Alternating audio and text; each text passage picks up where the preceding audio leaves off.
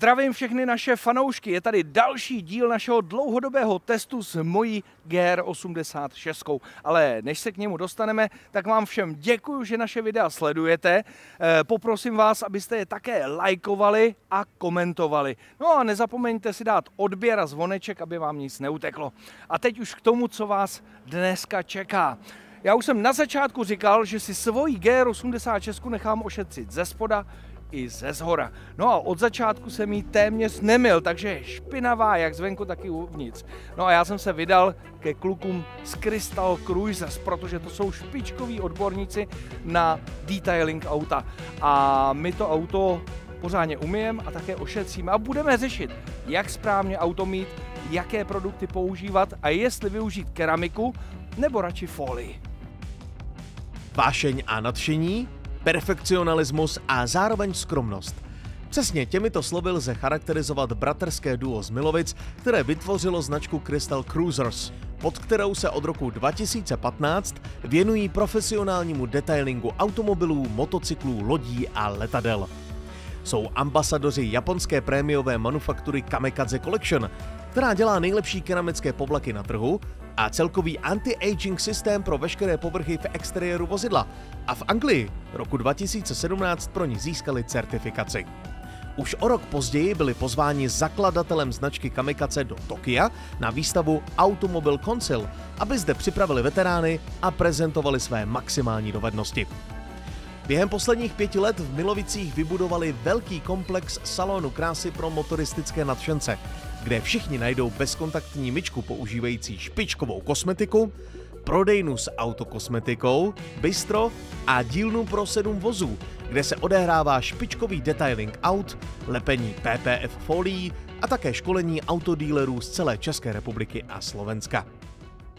Jonáši, co teďka čeká mojí GR86? Teďka právě budeme detailně čistit auto a připravovat ho na eh, samotnou takovou tu hlavní práci, to znamená vlastně instalaci PPF ochranných folie a leštění a vlastně aplikaci keramického povlaku. Protože těch ochran tam budeme vlastně kombinovat několik, respektive dvě, jak PPF, tak keramiku. No a to mytí to je zcela zásadní, protože eh, ono se to nezdá, ale vlastně při jízdě a používání toho auta tak eh, tam všude různě zatýká do těch záhybů, gumiček, těsnění, zatýká prach, nečistoty, hmyz, to všechno tam ulpívá a to všechno je vidět. Možná si někdy lepil folii na telefon a vstekal se, že pod tou folií, když tam žádný smítko přece nebylo vidět, tak najednou tam vidět je. Tak stejně tak to je vlastně s eh, instalací PPF folie. My vlastně děláme to, že ty nečistoty nejdřív tím předmytím aktivujeme, uvolníme z povrchu, spláchneme tlakem vody z auta, to znamená maximálně, co nám tam zůstane, v angličtině se používá pojem traffic film, znamená takový ten mastný film z provozu. No a to už potom uděláme tak, že vlastně se celé auto napění, pak už tam nemáme ty abrazivní věci, které by ten povrch mohly poškodit a ručně ten lak vlastně umejeme mycí rukavici nebo mycí houbou. Nikdy nepoužíváme žádný kartáč nebo nějaký stěrky a tak. Po tom prvotním umítí se dělá jedna věc, kterou eh, já neumím vyslovit, ale ty jo. Co Dobře. to je? Eh, budeme dělat dekontaminaci laku. To znamená, odstraňujeme z laku poletavou res, to je spad vlastně, co je ve vzduchu, protože je průmysl a tak dál. Potom je tam eh, asfalt, zbytky hmyzu, může to být míza ze stromu. Tyhle ty všechny věci jsou věci, které nejsou žádoucí a my prostě chceme mít ten lak zkrátka úplně super hladký, dokonalej, top pro jakoukoliv potom další práci. Ta dekontaminace by prakticky měla probíhat kdykoliv, pokud já chci to auto konzervovat, to znamená, uh, chci si auto umýt, chci si ho navoskovat, tak uh, je dobrý vždycky stejně tu dekontaminaci udělat. Když už eh, bude všechno hotové teda, pak jde nejdřív keramika, detailing a lepení nebo obráceně. Mm-hmm. Je to tak, že vlastně my si auto hodíme pod světla a uděláme si inspekci. Zkontrolujeme, kde je jaký defekt. Počkej, to znamená jako i nový auto, který já mám, řeknu, 3-4 měsíce, 6 tisíc na je to může mít nějaký defekt. Jo, a je úplně jedno, jestli je to Porsche, Rolls-Royce, Hyundai, Škoda. Je to úplně jedno, nový neznamená bez chyby. A pokud by tam byl nějaký hlubší defekt, nějaký hlubší škrábanec, tak uh, prostě my ho musíme vyřešit. Takže proto se dělá nejdřív ta inspekce, zkontrolujeme, kde je jaký problém a následně jdeme folii plotrovat, protože my na tom autě budeme používat prekatovou folii. Prekat znamená, že na tom autě my nebudeme řezat nože. Když se to dolepí, tak my vlastně ještě budeme pracovat na těch zbylých dílech. Tam provedeme lokální korekci a následně tam potom budeme dávat keramický povlak. Keramika chrání proti atmosférickým vlivům, to znamená déšť, eh, do jisté míry hmyz, eh, water spoty, to znamená minerály z tvrdé vody a tak dále. Je to vlastně taková ta první nárazová zóna na tom laku, kdy opravdu my máme prostor a čas ty nečistoty sundat a nemigruje nám to přímo do té struktury toho laku. Ale keramika nám nechrání proti tomu mechanickému poškození. Když vám celý tenhle proces, jak dlouho u vás eh, zhruba auto je? CCA týden, s tím, že vlastně na tom dělá neustále 3 až 5 lidí, takže je to docela dost hodin práce, ono se to nezdá, ale uh, každý to auto si to zaslouží. Máme tady druhý den, jsme opět v Crystal Cruisers, pokračuje se s ochranou zevnějšku mé GR86 a já jsem byl nadšený, když jsem ji dneska viděl. Ono to vypadá, že je absolutně čistá. Za mě nejlíp umytá, co kdy byla, ale kluci mi srazili náladu, protože mi řekli, že tam spousta vad, které je potřeba opravit. A například tady eh, evidentně se mi na tu kapotu slušně řečeno, vykakal pták. No a potom umytí samozřejmě to tam zůstalo, je vidět, že to tam vyžralo takové mapy do toho laku. Další věc, tady dvě černé tečky v nárazníku, to vlastně udělala ta krytka ostřikovačů, jak vyjíždí, tak se pod ní dostává prak a drobné nečistoty. Když se podíváme dozadu, tak eh, tam jsou taky další věci. Změřili jsme kvalitu laku, na to, že to je japonský auto, tak není zas až tak špatná. Tady vzadu lepší, vepředu na kapotě a blatníku o trošičku slabší, ale v celku dobrý. Tady na zadní kapotě můžeme už vidět, že mi na to někdo něco položil, je tam lehce poškrábaný. To samé je tady na tom světle, a tady například je zase vidět takový flek, který je od stromu. Jsou tady už i nějaké ťupky, takže teď kluci budou tyhle vady opravovat, napravovat a budou se snažit je dostat z toho auta. No a pak bychom se měli dostat k těm foliím. Jak se mám rozhodnout, jestli keramika nebo folie? Ono je hrozně důležitý nejdřív si spíš jakoby říct, kde to auto bude využívaný a jak bude využívaný protože pokud je to nějaká víkendovka, tak si myslím, že by mohla stačit i ta keramika. Pokud je to auto, který bude využívaný hlavně v běžném provozu, jednoznačně ochranná folie. Pokud samozřejmě jsou nainstalované podle určitých eh, standardů, tak ty folie vypadají fakt úžasně a troufám si říct, že valná většina lidí nedokáže vůbec ani rozpoznat, že tam ta folie je.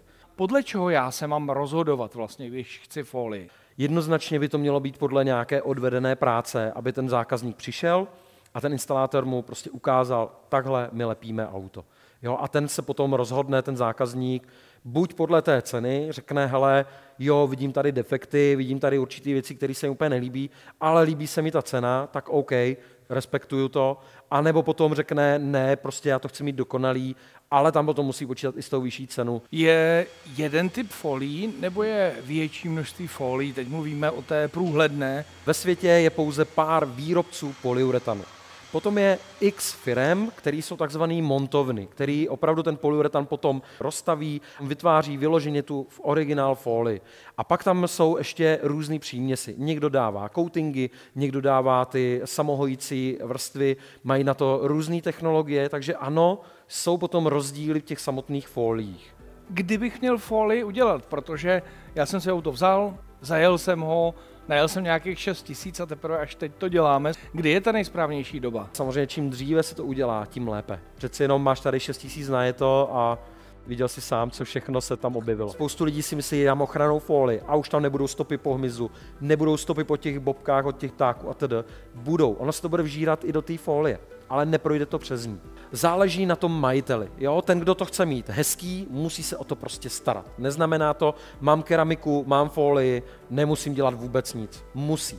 A nebo prostě se smířit s tím, že prostě to za nějakou dobu bude potřebení tam prostě bude. Když eh, nějaký ten díl se mi poškodí, lze dělat jenom tu část, teda opravit ho, sundat, přelepit a tak dále?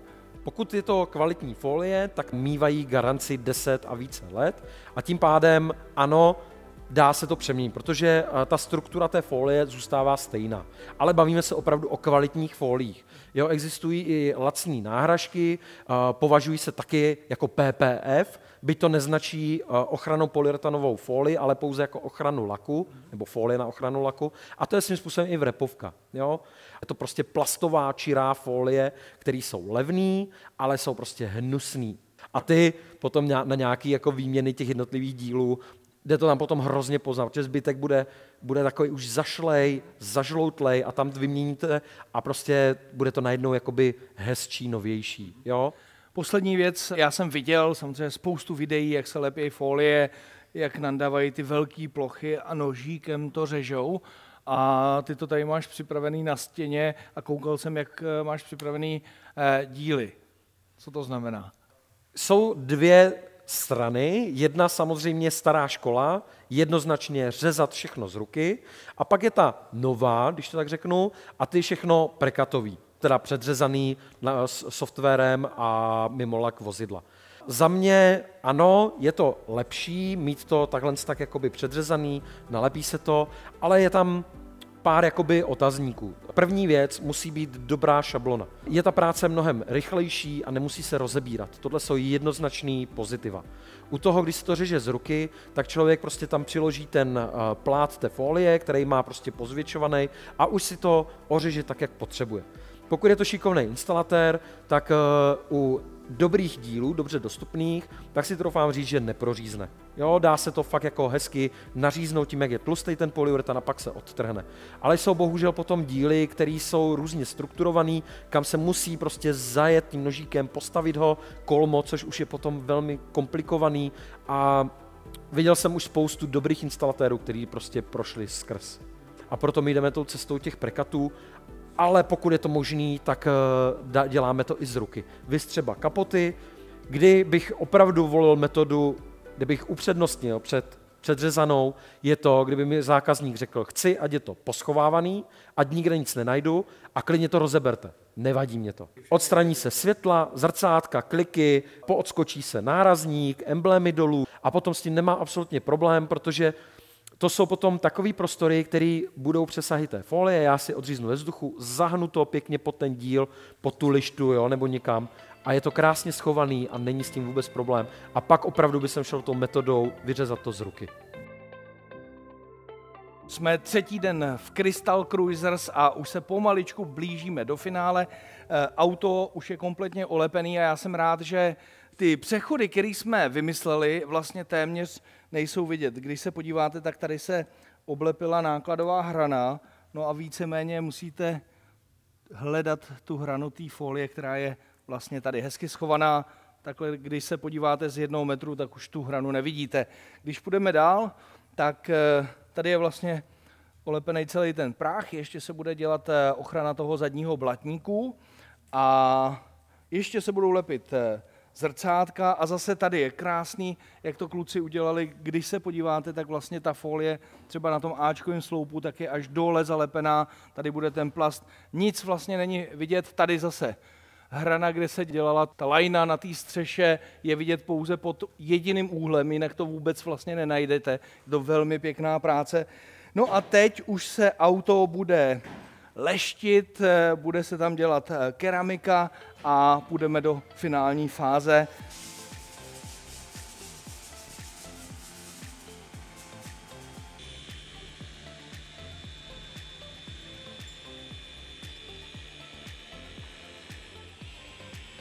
Dané, teďka kluci dělají něco na autě, co vlastně akorát eh, vyrábějí? Kluci akorát vlastně leštějí ten lak, aby byl úplně v super podobě, to znamená, my jsme nejdřív auto umyli, dekontaminovali, pak jsme vlastně to auto připravili na polepení folie a teď, když máme už ty části polepený, tak uh, ty ostatní části, na kterých není folie, tak ty musíme vyleštit, protože i z výroby, z přepravy a tak dále jsou nějaké defekty, které mohly vzniknout a my je srovnáme, vyčistíme strojně ten lak a pak tam budeme vlastně dávat uh, keramickou ochranu od Kamikaze Collection.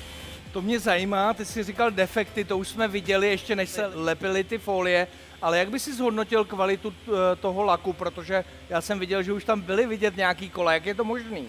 Je to úplně jednoduchý, kdykoliv dojde do kontaktu s lakem, jakkoliv, může vzniknout poškrábání, vždycky ten systém, jakým já se dotýkám toho laku, to, to znamená přes jakou útěrku, s jakým lubrikantem, s jakým přípravkem, tak když to nedělám správně, tak můžu ten lak poškrábat. Samozřejmě ještě se nebavíme vůbec o tom, že to auto má nějakou aerodynamiku, takže když jede, tak eh, to všechno, co chytím, tak samozřejmě letí kolem toho auta, ale nevylučuje se to, že prachová částečka může zasáhnout jakoby ten lak, to je další věc. Ty laky dneska nejsou úplně top kvalita, je to o tom, že dřív byly nějaký laky, dneska jsou nějaký laky vodou ředitelný.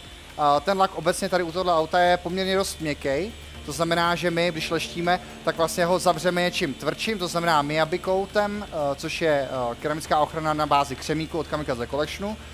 A ten udělá miniaturní nános, eh, takový bezbarvý vrstvy, a pak tam budeme dávat hydrokarbonovou vrstvu ISM 3.0, což je coating, který je dost flexibilní, odvádí dobře vodu pryč a zároveň pomáhá i jako doopravovat různý jemný miniaturní škrábanečky. Takže tohle, to, co se teď dělá, je proto, aby se to auto co nejlíp udržovalo a aby vypadalo co nejdíl hezký.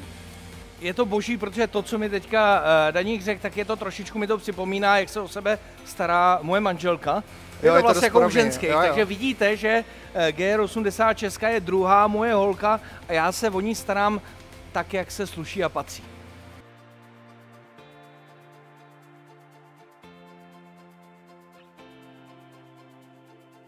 Den D je tady. Jsem znovu už po čtvrté v Crystal Cruisers. Teď už je auto hotový a bude se řešit jenom předání. Já jsem ho ještě neviděl, takže ty emoce budou pravý, autentický. No a já jsem zvědav, jak moje GR80 Česka bude vypadat.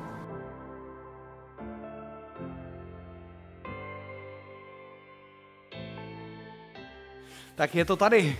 Dvoje dveře a tam stojí moje Toyota GR86 jsem na to zvědav. Já jsem samozřejmě nějaké věci v průběhu viděl, ale to finále to jsem neviděl. Týden to tady bylo, tak jdeme na to. Jo, náš na tom ještě maká. Kluci mají krásnou předávací místnost. Ty jak se to leskne. někdy stačí málo, někdy stačí trošku víc, ale ten lesk je dobrý. Ty to vypadá skvěle. Děkujem. No a pojď mi teda ještě říct znova, co jste, mm-hmm. co jste na tom všechno vlastně udělali. Jo, jo. Takže provedli jsme vlastně to, že se auto důkladně muselo umýt několikrát, pak jsme veškerý nejvíce exponované části zabalili do PPF folie. Tady to je přesvícený, aby byly vidět všechny nedokonalosti laku. My si na tom zakládáme, že vlastně tady ukazujeme to, co ani venku na sluníčku vidět není. Mm-hmm. To mhm. znamená, obnažíme to auto před uh, každým úplně do poslední tečičky a uh, jsou vidět opravdu jak nějaký uh, drobný třeba poškození, který prostě se nepodařilo už odstranit, ale celkový výsledek je prostě úžasný. Hmm. A tady vlastně uh, tohle to chybilo z výroby. Tady jsme udělali takovýhle car shield. No. no to vlastně bylo jenom místo přesně tady, tak, že jo? Přesně to... tak, ale tohle to je vlastně místo, kde taky uh, velmi exponovaná část vůči asfaltu, kamínkům a tak. Takže tohle to jsme uh, hmm. ochránili taktéž a stejně tak jsme zalepili i vlastně pátý víko s tím, s tím daktailem, přesně tak, tak, tak, tak, ten vršek. Je tak. pravda, že ta folie těší mě, jak to je málo vidět, mm-hmm na tom autě, že tam jako je. Ale plní to vlastně tu ochrannou funkci proti mechanickému poškození. No a na zbylých částech, tak tam jsme lak eh, leštili a následně jsme dávali dvě vrstvy keramických povlaků. Tam je důležité uh, ty keramiky vlastně mixovat mezi mm-hmm. sebou, protože když se vrství jedna keramika, tak se vlastně ty předchozí vrstvy rozpouštějí lehce. Mm-hmm. Jo, takže tam jsme schválně zvolili kombo dvou keramik a dali jsme tam Miyabi Coat, což je tradiční keramický povlak z Japonska, ručně vyráběný v Yokohamě. Uh, obsahuje hodně moc křemíků a dodává laku takovou tu krásnou, takový ten krásný mokrý vzhled. Mm-hmm. A na to jsme potom dali jako top coat, další keramický povlak, který je na bázi uhlovodíku. Mm-hmm a ten je velmi pružný. Ten jsme tam dali právě proto, protože velmi dobře reaguje na změnu teplot, eh, dokáže dobře odolávat i různým chemikálím a eh, díky tomu vlastně vydrží, že je pružný, vydrží několik let, což je právě důležitý. Eh, mnohdy lidi jdou po těch nejtvrdších keramikách, to není ten cíl. My potřebujeme mít co nejpružnější, aby právě vlivem fyziky, když se ty mm, povrchy vlastně roztahují a smršťují, tak potřebujeme mít něco pružného. Takže teď tohleto kombo, který tam máš 4-5 let, určitě bude frčet. Je to skvělý. No a kola nezůstaly pozadu. Ty jsme ošetřili dvouma vrstvama taky keramického povlaku Aha. od Kamikaze. Má Tenhle ten povlak velmi dobrou vlastnost odolává teplotám až 1000 stupňů Celsia. Takže i brzdy, když se ohřejou, tak vlastně nejsou tak, problémem. Přesně tak. No a keramiku máme hlavně nejenom na laku, ale máme ho i na těch veškerých gumových těsněních, uh, polikarbonátových okay. světlometech. Takže fakt všude. Přesně tady. Jo, takže Aha. opravdu celý auto je ošetřený na oknech keramický povlak, je to ionizovaná vlastně keramika a ono to pomáhá vyrušovat statiku. Mm-hmm. Takže to snižuje odpor, tření a krásně to všechno z toho stýká, takže potom, až budeš řídit během divoké jízdy, tak a za deště. I, i za deště, tak, tak, to bude vlastně super. Za mě absolutně jako špičková práce. Jonáš, jak se řekne japonsky, děkuju. Uh, arigato gozaimasu. To já neřeknu, ale děkuju. Ta práce je boží. Já jsem úplně nadšený z toho, co kluci na tom autě udělali a popravdě, jestli fakt jako chcete pořádně ošetřit auto, tak tady kluci jsou eh, špičkoví odborníci, proto jsem to udělal, protože já jsem kdysi dávno měl MX-5 a nebyl jsem spokojený vlastně s tím, že nebyla ochráněná, jak to auto potom po pěti letech vypadalo. Ale tohle, tohle jsem chtěl udělat, chtěl jsem to auto mít špičkově ochráněný ze všech stran, což teďka mám, takže se do toho můžu vrhnout. A Jonáši, poslední věc ještě, co vlastně mě teďka čeká, protože to není jenom, že jsme mi ochránili auto a teď na do smrti budu jezdit a nechám ho tak, Jo. jak je. To znamená, ještě byste mi měli dát nějaký kurz toho, jak s tím pracovat, jo? Je to Jo. tak. Hele, my s bráchou vlastně razíme tu cestu, že základ je mít to know-how, protože ochránit auto je super, ale to je takový ten první gol. To je přesně takový to, když máš v, novém autě naletej, naletej ten první olej, ale je potřeba tam provádět tu údržbu. Takže my uděláme první mytí, který děláme vlastně s každým autem, který nám přijde pod Po rukama. jaký době? Doporučujeme do 14 dnů. Takže 14 dní budu jezdit a pak přijedu Přesně, zpátky. max do 14 dnů a s tím, že vlastně my ti ukážeme, jak na to, jak made, ideálně na bezkontaktních myčkách, Jasně. těch je dá se říct všude plno. A co k tomu budeš potřebovat, je toho málo, ale to málo ti zajistí to, že to auto bude i za 5, 6 let, 10 let, furt krásný. Takže nás sledujte, protože tohle není všechno. E, Auto máme ošetřený, ale my uděláme ještě jedno video, kde se nebudeme věnovat GR86, ale právě tomu, jak made auto. To znamená, jaký používat produkty a jak se k tomu chovat, jak s tím pracovat. A to všechno uvidíte právě v dalším videu.